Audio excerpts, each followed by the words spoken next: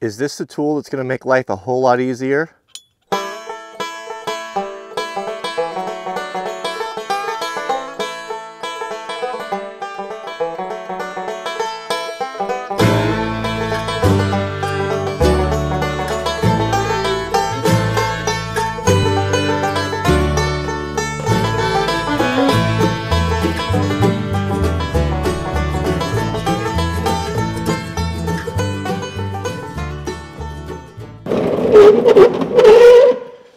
Me give you a hint here. So if you're ever in your shop and you drop the tiniest little lock washer or spring or bearing or nut and you search all over and you can't find it, just go grab anything with a caster wheel on it and just roll it across the floor one time and it'll find that thing and it'll stop the wheel and, and skid it along, the ass, along your floor. So here's a thorny problem. How do you get a 12 foot mower through a 10 foot door? Ho, it's.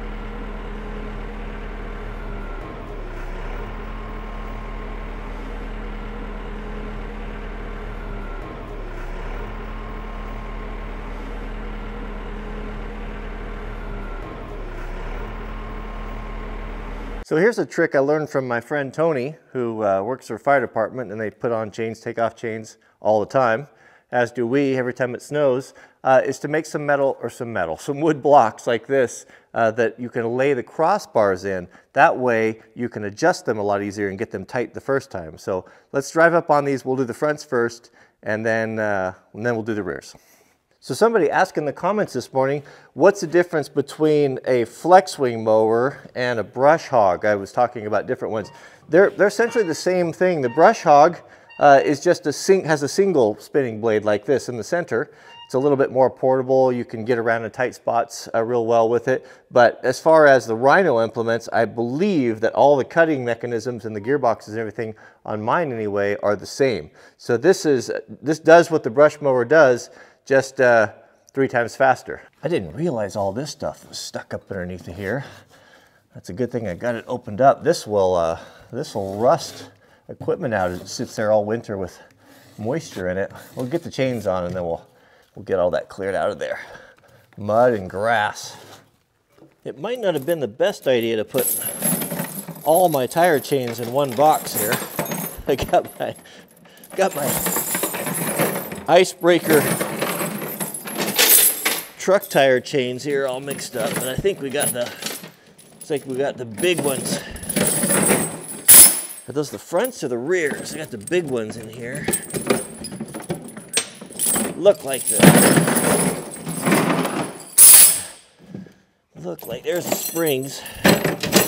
Those are the things that gave me so much trouble last year. Hopefully not this year. Oh no, these are the big ones.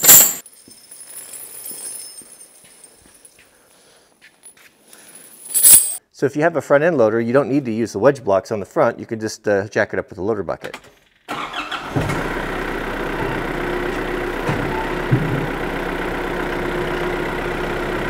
Safety Sally time. Don't ever work under hydraulics if you can help it.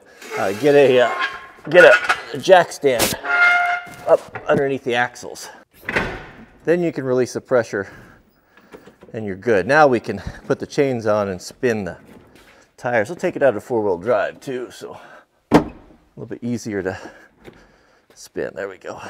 I know you're curious about this tool. It'll all come clear here in a minute. I'll tell you a funny story about tire chains. Back when I was younger, we were, went elk hunting. We family used to go elk hunting for two weeks every year. And uh, I opening morning, I had a 75 Bronco, the old, the little ones, old Fords. My favorite rig I think I ever had.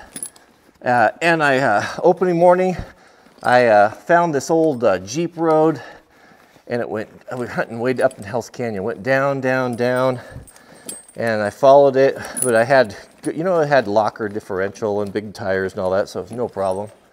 And uh, well, that thing sure did turn on me. And then, uh, uh, so I went off hunting, hunted all day.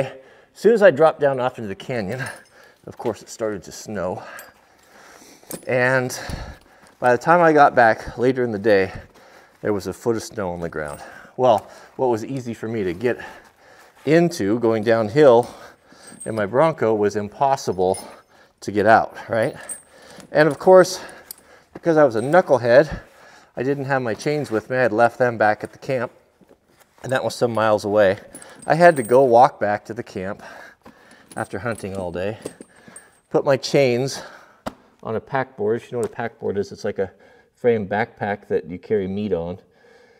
Down in that canyon, four, four sets of heavy chains too, like these big truck chains here I have made, made you know, everything I did was always overkill. And then put those chains on, and still I couldn't get out, and I spent most, the better part of the week, the evening winching my way out of there about 75 feet at a time while it continued to snow, freezing cold. So the moral of the story is, um, I don't know that there is a moral. Keep your chains. Keep your chains in there. So when putting on your chains, remember tight chains are happy chains. You want your chains to be as tight as you can get them, less likely to flop over and break something or it gives you better traction, it's even better on the tire. This isn't really the intended use of this, of this tool here, but you'll see in a minute, but it, it is kind of a nice byproduct. So I've got, I've got this down as tight as I can go. Now, you can, last year I had this little tail sticking out here and I had to wire them all up and they came loose a couple times and I think one of them flopped around and broke off one of the grease zerts.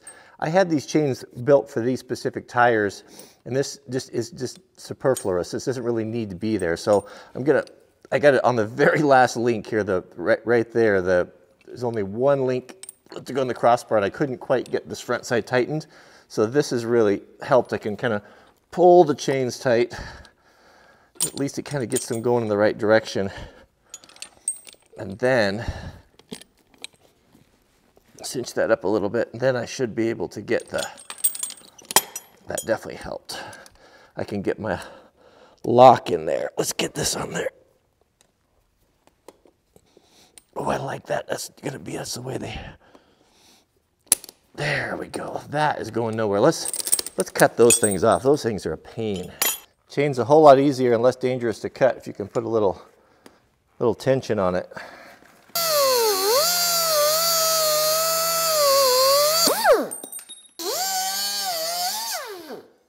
That's better.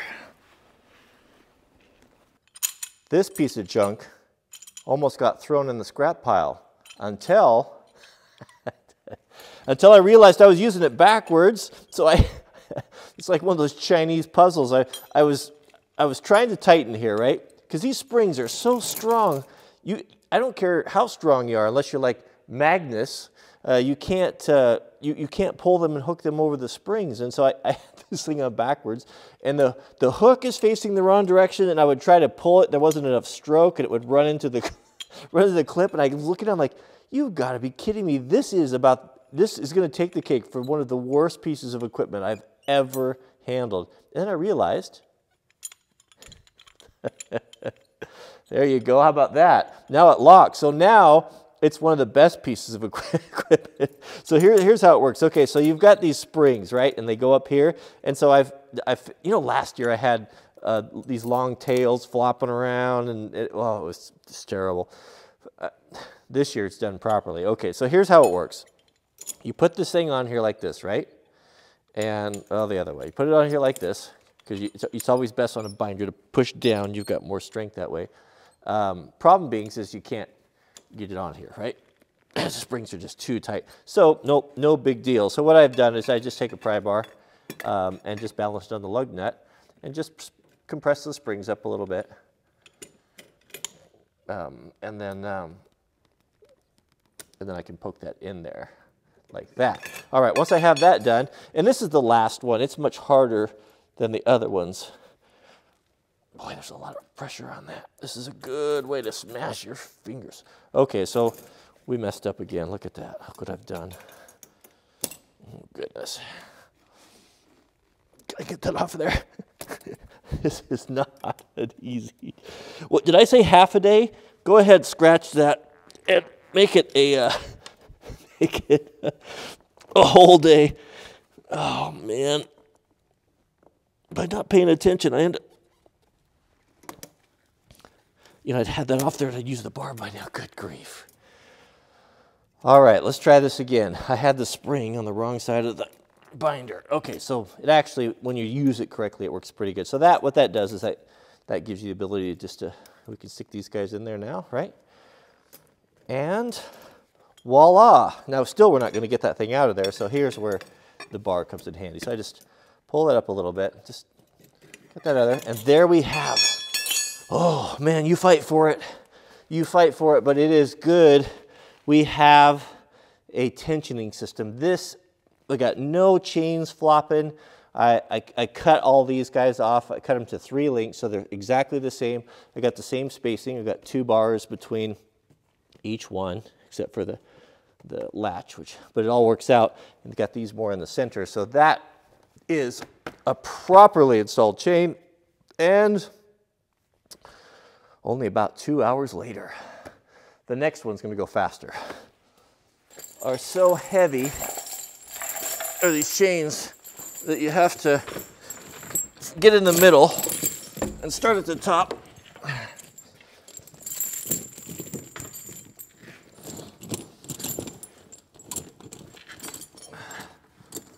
Oh, I know why I never did, why I was so reluctant to take them off. Okay. It's always relearning every year. Yeah, if you want to know how to put chains on talk to a trucker. those poor guys have to put them, take them off, put them on so many times. I always feel sorry for them every time they have to do that. It's a lot of work. Now you've got gravity helping you, coming down both sides. Make sure they're centered, make sure you don't have any crosses here. Good tractor chains like this, you can't just use regular chains because of the big lugs here. What happens is, is the, if you just have single crossbars, they, they get down in here in between. It helps, but it's not as good as you kind of sit on top. And it still happens to a certain extent with these type of tires. But having a double one here connected with these two links always kind of ensures that you have something. At least you have something sitting on top of a lug somewhere that's going to reach down there and bite. So they'll kind of settle in as you use them, but they're, they're, they're good. This is, this is, it wouldn't even be bad to have these connected here as well. I think that would be good too, but nonetheless. Now this is the important bit. Okay, so we, we don't use the block until we get the big chains on there. If you're just using just passenger car or something, you know, you can, these blocks, you can just drive right up on there and the chains are are so manageable, but not these great big ones. So what you want to do is kind of tuck that into there. We got this crossbar. We want this crossbar to fall into the groove here. So kind of estimate as that rolls forward right there exactly where that's going to be. And usually, kind of the way I made it, it should fall right in there if we've done it right. Let's see how it goes.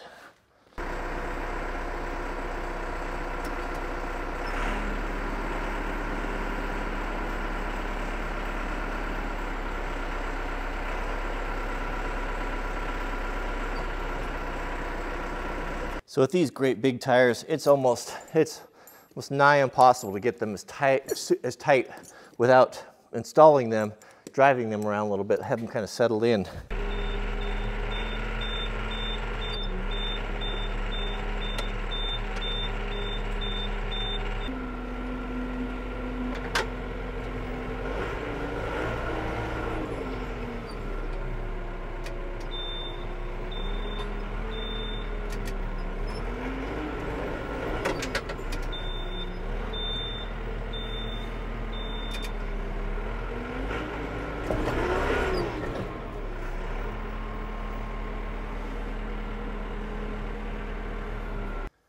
The last one, the one I've been looking for.